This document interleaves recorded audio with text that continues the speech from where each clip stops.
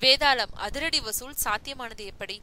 வேதாளம் படத்தோட வசூல் விவரங்களை கேட்டவங்க இவ்வளோ பெரிய தொகையை சாத்தியம் இல்லையேன்னு சந்தேகம் தெரிவிக்கிறாங்க. குறிப்பா ஒரே நாள்ல தமிழகம் எங்கும் உள்ள தேட்டர்கள்ல பதினஞ்சு கோடிய வேதாளம் படம் வசூல் செஞ்சிருக்கிறத பத்தின இந்த சந்தேகம் எழுந்திருக்கு. விநியோகஸ்தர்கள் மற்றும் தேட்டர் அதிபர்கள் கிட்ட கேட்டா பதினஞ்சு கோடி வசூல் சாத்தியமானது எப்படின்னு விளக்குறாங்க. தீபாவளி பண்டிகை அன்னைக்கு தமிழகத்துல பல ஊர்களில் உள்ள தேட்டர்கள்ல அதிகாலை ஒன்றரை மணியிலிருந்தே வேதாளம் படத்தோட சிறப்பு காட்சிகள் ஆரம்பிச்சான் வேதாளம் படத்தோட தமிழக வெளியீட்டு உரிமையை வாங்கினது பெரிய இடத்து சம்பந்தப்பட்ட நிறுவனம்ன்றதுனால எந்தவித இடையூறும் இல்லாத பல ஊர்கள்ல ஏழு காட்சிகள் கூட திரையிடப்பட்டதா தகவல். அது மட்டும் இல்ல டிக்கெட் கட்டணமும் ஐநூறு தொட்டு இருக்கு. அது காரணமாவே ஒரே நாள்ல பதினஞ்சு கோடி வசூல் சாத்தியமானதா சொல்றாங்க. இந்திய அளவுல மூணு நாட்கள்ல வேதாளம் படம் சுமார் நாற்பத்தி மூணு கோடியே தொட்டிருக்கு.